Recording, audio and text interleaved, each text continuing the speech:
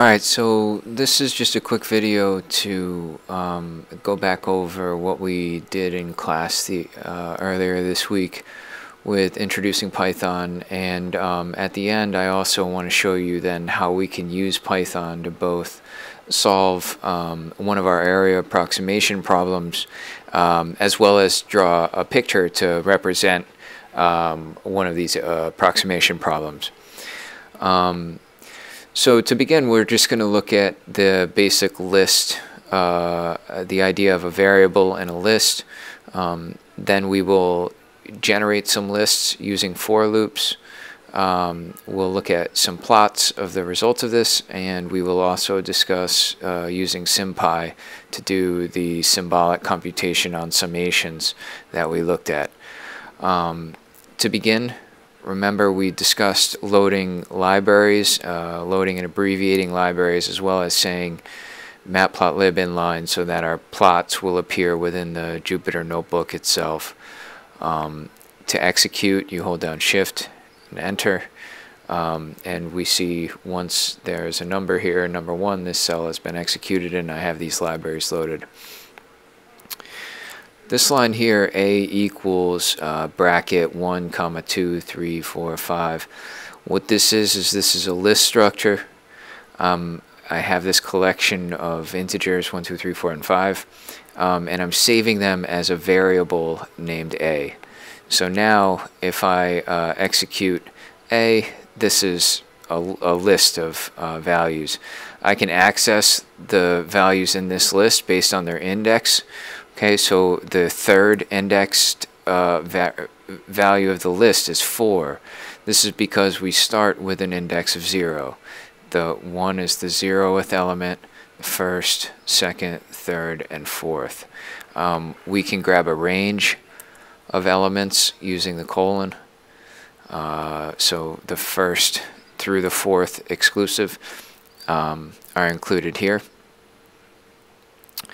We can also use a for loop to generate things. Now this is just an example of what this range function uh, does. Remember we use the range function as a counter there so a range 10 is going to print uh, 10 elements here. We will go through each each time and print the value uh, of the counter in the range uh, thing.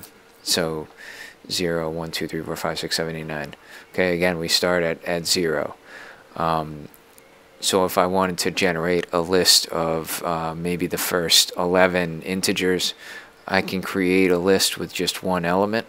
So here's a A equals the starter uh, of 1 and I can then run a for loop and each time add 1 onto this element and pop that new guy onto the list and you see that after having done that we had 1 and then 1 plus 1 was 2 and then it kept going it went to the next time through. 2 plus 1 is 3 3 plus 1 is 4 and so on and so on until it reaches the top of the range the 10th time through and it stopped at 11 if we wanted to find one of our problems from the homework was finding um, the sum of these values, we can find the partial sums of this list using the cumulative sum command um, from NumPy. So as you see, after we call np.cumsum uh, on this list A, what we get is we get a list of partial sums. 1, 3 because 1 plus 2, 6 because 1 plus 2 plus 3 is 6, plus 4 is 10, plus 5 is 15, and so on. So this is a handy way to look at patterns um, in the uh, partial sums. We can draw a plot of our sequence A uh, using this command plt.plot, and we're drawing a plot of A, and I want the markers to be points, just points at A, so that's what the circle O is. That's an O, not a 0.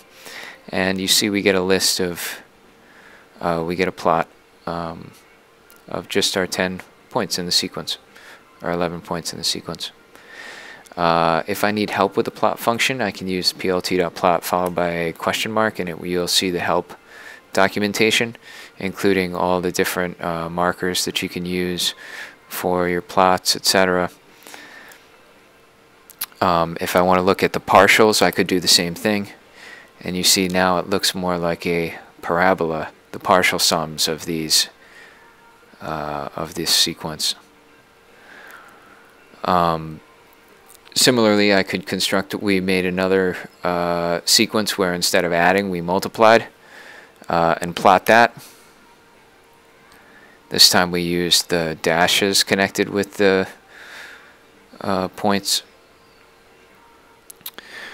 If we wanted to do the symbolic sums, first what we had to do was declare our symbols. So here we're saying, okay, I'm going to make these symbols x and n using the size symbols command. And if I wanted to find out what the sum of the of 1 plus 2 plus 3 plus 4 was up until some number n, I can use the size summation. And we see it's n squared over 2 plus n over 2. Um, there's also a way to print that a little nicer with the psi p, p print, uh, pretty print and again we see it as n squared over 2 plus n over 2. Uh, similarly, if I wanted to find the sum of the first uh, n integers cubed, I would just change this x to x cubed, and again we get a nice formula printed out here. So finally, uh, I wanted to just show a quick example of how to solve an area approximation problem using um, using Python. Uh, let's say that we have this problem. We have a function g of x equals x squared from negative 3 to 3, and we want to use six rectangles to um, determine the area. Remember, this b minus a over n is the left endpoint, and the, the uh, right endpoint is b, left endpoint is a. We find the difference of them and divide by how many rectangles we have to get the width of the rectangles. And we add up um, the function evaluated at the left endpoint and then uh, one, uh, depending on how many rectangles we have, every b minus a over n uh, unit over, uh, we find the height. So um, we can create a variable named width that because we were asked from negative 3 to 3 with six rectangles, that's b 3 minus a uh, over 6 we can find the x coordinates that we're going to use by just then adding um, whatever the value of that width is.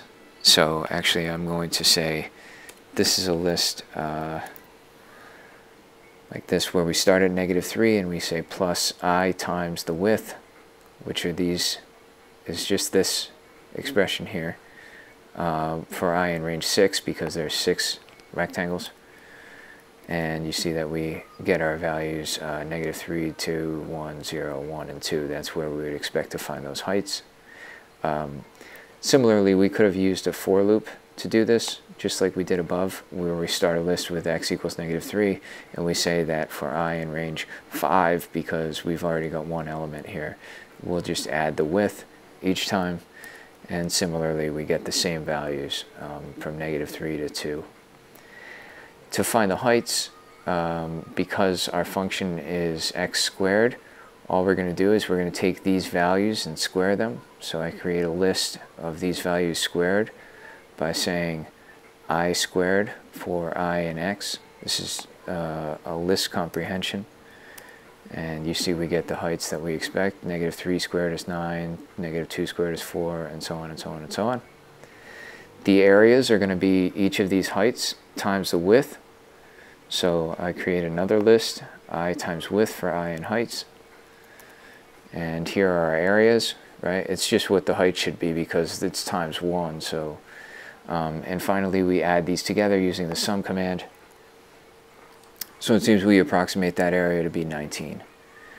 Um, I'm going to draw a plot of this, so I just reload my, uh, just as a reminder, these are the libraries that we'll use to make the plot and um, I have a there's a step function that will create um, our, the kind of rectangle tops that we're looking for. So I'm going to step uh, at the x and the height values.